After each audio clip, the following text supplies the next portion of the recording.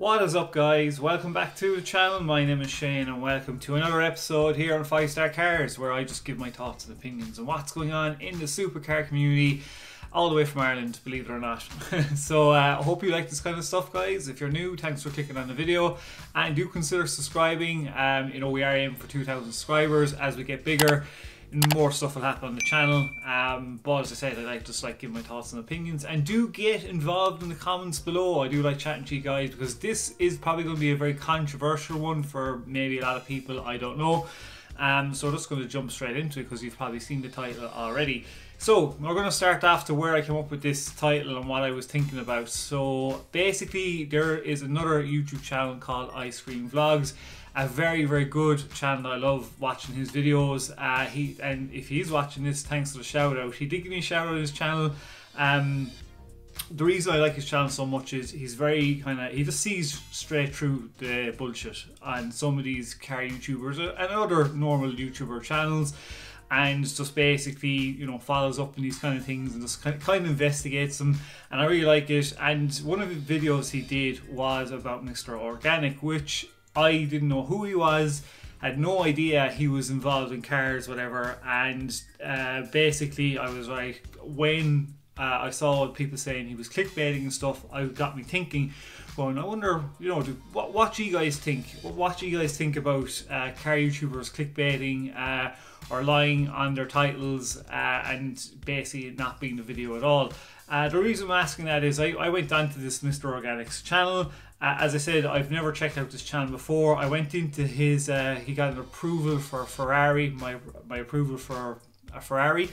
Um, now, when I clicked on the video and I started watching it straight off the bat, this is not a channel for me. I think that channel is very specific for um, some people, but definitely not for me. Just, uh, just from first thoughts and watching that, just that one video, I'm just getting a very make it to fake it vibe off that channel. Uh, and basically, after watching the video, uh, again, where was the approval? He basically just walked up, uh, saw a Ferrari that was parked up in a parking lot, and says, "I'm getting a Ferrari at the end of the year," but I'm not seeing what what what approval. Like I'm still waiting for that kind of. See, when I see a title, I expect to get that title within the video, which you didn't there.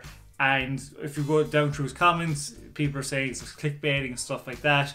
Um, you know, so I was kind of like, right, yeah, no, that, channel will not be for me. Um, definitely not. But then I was thinking, who else? What other car YouTubers do it? And guys, comment below. Like, let me know who do you think are the biggest clickbaiters in the car YouTube scene. Uh, and does it annoy you? Does it frustrate you? Do you really care? I just want to know for me personally, myself, it does it does annoy me. I'm gonna say this right now, going forward, if you feel that I do any clickbait titles, do let me know in the comments, even message me on Instagram, wherever, let me know because it's the last thing I want to be doing. I, I don't want to do clickbait titles. If you look at my titles, my videos, I keep it to what I'm talking about and I don't I hate clickbaiting. Uh, it's just deceiving and it's not nice. Um, so just one, two other people or other channels that do it. DD are another example. Now they haven't been, they've literally calmed down on the clickbait and stuff uh, lately. I feel, um, they still do it, um, but not not as bad. I'm just giving an example here, guys. This I'm just giving examples of videos I think were clickbait, and with one or two of DD's videos, uh, one of them was trading my P1 hypercar for two supercars, the McLaren 765 LT and the 620R.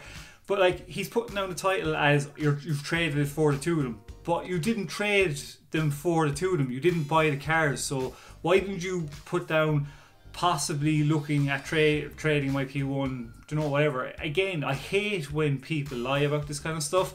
Uh, it does annoy me. And then the other one was um, my first um, trading my P1 for my first supercar purchase, or I can't remember the one, the one with the SLS anyway. Again, he made it as he purchased the SLS, but he didn't. Do you know, it's stuff like this that really grinds my gears, pun intended. So um, I don't like that kind of stuff. Uh, really annoys me. So I just kind of want to hear from you guys as well what you think of this stuff. Stradman does it, uh, or doesn't do it really a lot. Like in fairness, but like one of his one of his most recent videos, um, my Lamborghini Aventador crashed into a police car. Like it he could have just put down my previous the previous owner crashed my Savage title Lamborghini Aventador. Like I, I get I guess about the whole thing having to make it a wow factor. That is the way YouTube is. I think a lot of people who want to teach on YouTube maybe say to you, yeah, make it make it a wow factor whatever. But it's it's it's a, basically a touch of BS. Um, like I would just couldn't word it like that because I just think you're just lying to people, and uh, as far as I'm concerned, and maybe I'm just old school, but I don't like it. Um, Vehicle Virgins, another person who uh, a lot. Uh, one of his videos was a huge problem with my 600 LT. There wasn't a huge problem with it. It was a bolt. Um, again, pure bullshit out of him uh, with clickbait titles. Um, I think Life of Palos does does the odd few as well. Like Joe, I, I don't want to fall into that trap as a YouTuber. I know I'm only new at it, but I refuse to fall into the uh, try and clickbait it, clickbait it till you make it, or fake if you make it kind of thing. For me, for this channel, if I was to have the afford to even get a project car going, the ultimate goal is obviously an R8. I'd be happy. Like, treating that would, I'd be content. I mean, I don't, I'm not looking to be like, I would love to be huge, but I wouldn't want to try and fake my way to it either. Um, like even Supercars London, he brought out a video. Um, it wasn't really a clickbait title. He said he, he found out what was wrong with his Murcielago, but he went away and made a 14 minute video on a cracked pipe and dragged the living holy shit out of it, like for no reason, just to get a video out and get ads up there as well. So you know, it, it's it's stuff like that. Uh, I mean, it just annoys me. I'm just interested to hear your thoughts and opinions below uh, in the comment section below. And like again, guys, I'll give you examples of people who don't do clickbaiting. Look at Manny Khoshbin. Look at Manny, Manny Khoshbin's titles are brilliant. It is exactly what it is. Like Manny, look at Manny Khoshbin. Um, he doesn't clickbait one bit. He could if he wanted to, but sure, if he wanted to go out and buy whatever car he wanted, he can. Do you know what I'm saying?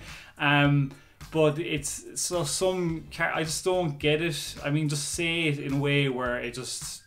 I suppose you just need that wow factor really, and to just draw people in and get those subscribers. So I, don't know, guys. It's just something I wanted to to bring your attention. Maybe you can, maybe you want to comment below and, and let me know what you think of it. Um, but this is the kind of stuff I, I like to talk about as if I was talking to you in person. So, yeah, that's it for today, guys. That video um, might have a longer video out um, tomorrow, or I do try and post every day. I I, I try to. Um, but yeah, hopefully you like this kind of stuff. Uh, you enjoyed the video. So yeah, till the next one, guys. Stay safe. Peace out. Uh, do don't forget to actually subscribe, like, and comment below, and we shall see you in the next episode. Peace.